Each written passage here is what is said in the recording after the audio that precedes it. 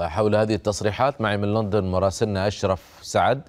أشرف ما الذي يعني خطاب هذا الوزير وزير القوات المسلحة البريطاني في إطار وجود هذه الحكومة وربما احتمالية ذهاب رئيسة الوزراء البريطانية في أي وقت يعني قادم؟ بالفعل هذا بات احتمالا قائما وأصبحت أيام ليستراس في حكم بريطانيا. معدودة نظرا لكمية المعارضة.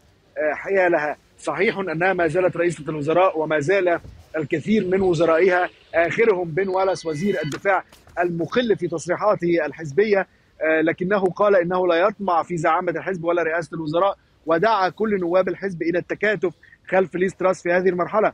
ولكن الأقاويل في أروقة الحزب تقول إن ليستراس لم تعد رئيسة الوزراء الفعلية وكما وصفتها إحدى الصحف البريطانية اليوم برئيسة الوزراء الشبح في حين وصفها وصفتها صحيفة أخرى بأنها رئيسة وزراء بلا سلطة. يبدو أن هناك الكثير من الشك في قدرتها على إدارة أمور البلاد وعلى إدارة دفه الحزب خلال المرحلة المقبلة حتى أن يعني هناك من يقولون إن جيرمي هانت وزير المالية المعين مؤخرا يبدو أنه هو فعلا من يدير الحكومة وليس ليستراس بالطبع هناك إجماع من وزراء الحكومة حول ضرورة التكاتف حول ليستراس في هذه المرحلة. ولكن حزب العمال المعارض الذي ارتفعت شعبيته بقوة نعم. خلال المرحلة الماضية وبعد الارتباك الكبير الذي أحدثته قرارات الحكومة يبدو أنه يسعى لإجراء انتخابات مبكرة في أقرب فرصة.